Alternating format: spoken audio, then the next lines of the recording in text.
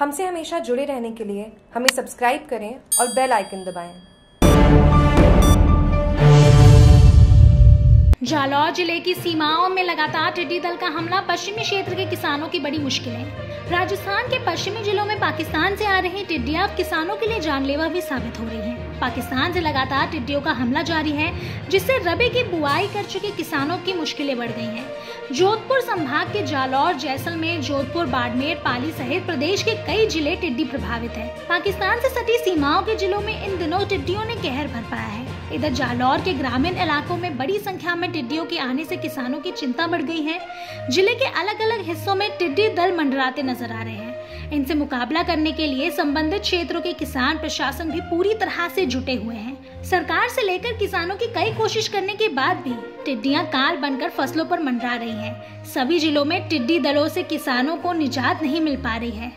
ग्रामीण रात से सुबह तक ढोल थाली आदि बजाकर टिड्डियों को भगाने का जतन कर रहे हैं। जालौर के विभिन्न क्षेत्रों में टिड्डियों ने खेतों में फ़सलों को चट कर दिया। ज़िले के प्रत्येक क्षेत्र में चाहे सिंचित भूमि हो या नहरी क्षेत्र, सभी तरफ़ टिड्डी दल किसानों के जी का जंजाल बने हुए हैं। प्रशासन व ग्रामीणों की मदद से टिड्डियों को नष्ट करने में जुटी हुई है, लेकिन फिर भी टिड्डी दल कई गाँव में फ़सलों को भारी नुकसान पहुँचा चुके हैं।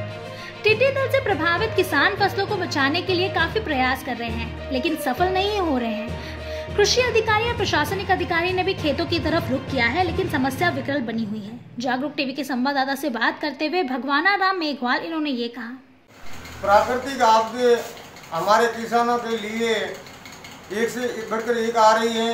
हमारे, स्थानीय क्षेत्र में सियार बार टिड्डी दल का हमला हो चुका है। और जिससे रबी की सीज़न में कोई भी फ़सलों को नुकसान हो रहा है, हो सकता है इन टिड्डी दलों का पुनः हमारे फ़सलों पे ये हो जाए हमला, जिससे हमारे किसानों को भारी नुकसान हो सकता है। हमारा प्रशासन से निवेदन रहेगा कि इस टिड्डियों को नस्ताबूत करने के लिए मशीनों का उपयोग कर उसको समूल जड़ से अगर नष्ट करती हैं तो हमें राहत प्रदान होगी।